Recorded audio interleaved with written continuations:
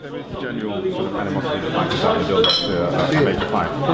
But I get the sense that with him that you genuinely dislike this man. Why is that? How can I put it? What's the best? Every time somebody asks me the question, I try to put it in a, in a way. What is something you really wanted when you was a child? Just give me something.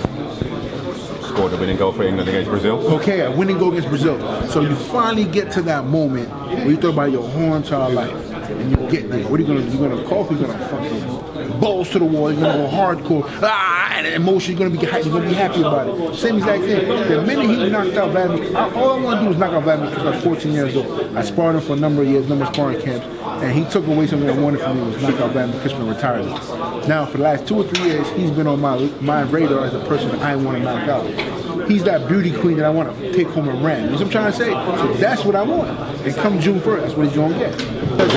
Him and Deontay tried so hard not to say my name because no, the minute they say my name, it gives the media fuel to come ask me questions. And they were trying to not do that for a long time. So I said, you know what, I'm just going to get my record up, fight who I can fight, and eventually I'm just to come out with a storm. But I got too tired of waiting. I said, I'm to start showing a press conference up talking some junk and get their attention and fight. That's what happened. Because if it was left to them or left to Eddie Hearn, percent some of the other guys, the fight might never would have happened anytime soon. But by me being a, a, a media force and being close to the media and telling them how my just being real because I'm being real, but I'm also funny at the same time. They love that stuff. People gravitate to that more than the fakeness.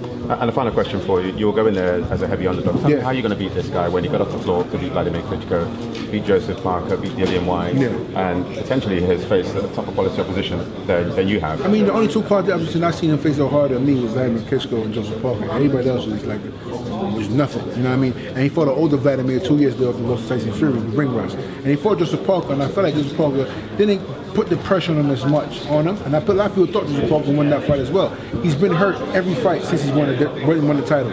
I'm bigger, I'm hungrier, I'm stronger. I throw more combinations, and if I'm, maybe I'm even faster than his ass too. Like I said, I bring a lot more to the table than good looks, a good record, and money behind marketing. I'm Mr. Underdog, and I'm a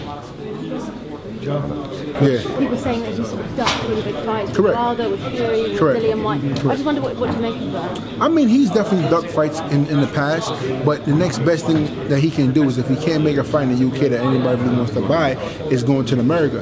And like I said, other than Deontay, I'm the next big guy in America. He's going to try and make his, uh, his his statement there. But come June 1st, you got to understand about guys from Brooklyn. We built a lot different than anybody who fought. Charles Morris from LA, he fought Breazeale. I know where Breazeale's from, I can't remember. When you fight a Brooklyn night that's hungry and took this long to get here, oh God, he made the wrong mistake. And he knew that. He knew he kept the eye on me because I've been barking for a long time. But I had to get the recognition, I had to get the media on my side.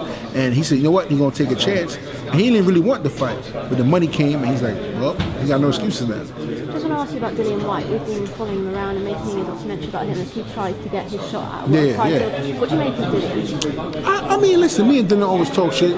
Listen, I've said it before. I like Dylan. I think he's rugged. I think he's real.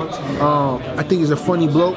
But uh, at the same time, you know, as a fighters, I know I'll knock him out of a fighter. And he'll say the same thing too. But I've never really had any crazy, really animosity against the dude. It's just two fighters that, that's coming up the ranks. And we kind of beef and interviews got back and forth to interviews and all that stuff. But I mean, listen, my focus is on AJ. Know, I wish him nothing but luck in the future. But if he fight Big Baby, I'm going to turn him to jerk chicken. Good luck, Dylan.